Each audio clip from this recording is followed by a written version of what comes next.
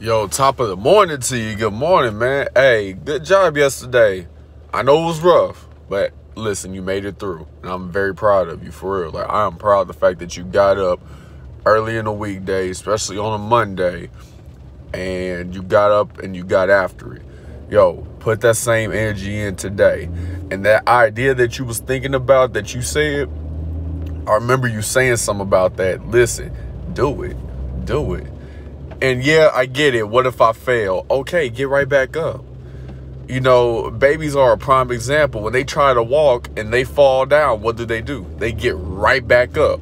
It doesn't matter how many times they fall down, they believe to get right back up. That's what we got to do with our dream. That's what we have to do with our, our, our life. When we fall, when we fail, we got to get right back up.